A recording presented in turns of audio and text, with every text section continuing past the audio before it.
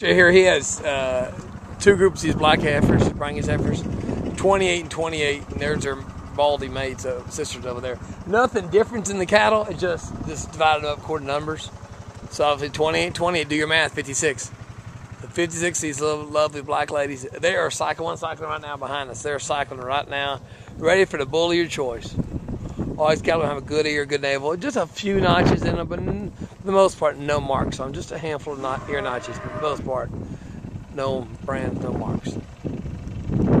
Woo! Man, what will these heifers be worth? They're all been preconditioned, all the shots given, you know, OCV'd. Next fall is breads. Whew, that'll be worth a king's ransom. Kind of got some frame already. They're not these little young, little 500 pound heifers I'm trying to push to breed. They're they're kind of fall yearlings, aren't they? No, they're kind of yeah. So they're born the fall of 2009. He said that when he, he bought them in July, weighing 600 pounds. So the man's got some time in them. They weighed six in July, so 600 pounds. So they all breed up just real fast, like because they're older heifers, not these little young 500 pounders trying to breed. But nice function. General, as you want them, it's a one man operation, does everything. Uh, it's a little forwarder, little mule, and so they're gentle as you want them. Sorry. Second group of 28 heifers, same group as ones across the fence, exact same deal. I refresh your memory on them again. They were uh, weighed them a couple weeks ago.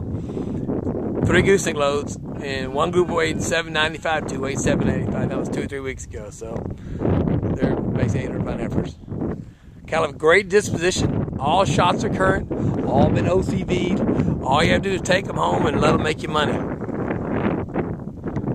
He bought these last summer in July. Okay, Today's February. July weighing six. So they grew out here in basically brush country. Oh, look at our cycling. Ready to go your bull. So the cattle are old enough heifers to old enough heifers to breed right up.